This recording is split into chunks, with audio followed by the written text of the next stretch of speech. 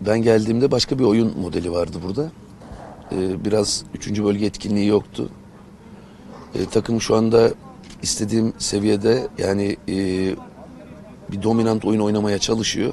Erzurum deplasmanını kazanmamız gerekiyor. Oraya hazırlanıyoruz. İnşallah da kazanırız diye umut ediyorum. Sonra da zaten iç sahada biraz daha kadro kalitesi yüksek takımlar gelecek. Orada başka senaryolar var.